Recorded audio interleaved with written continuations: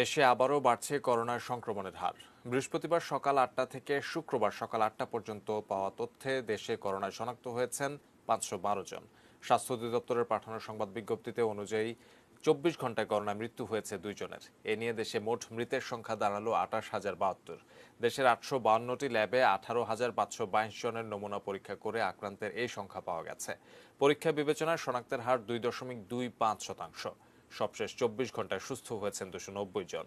এ নিয়ে দেশে মোট সুস্থ হলেন পনেরো লাখ উনপঞ্চাশ হাজার একশো জন।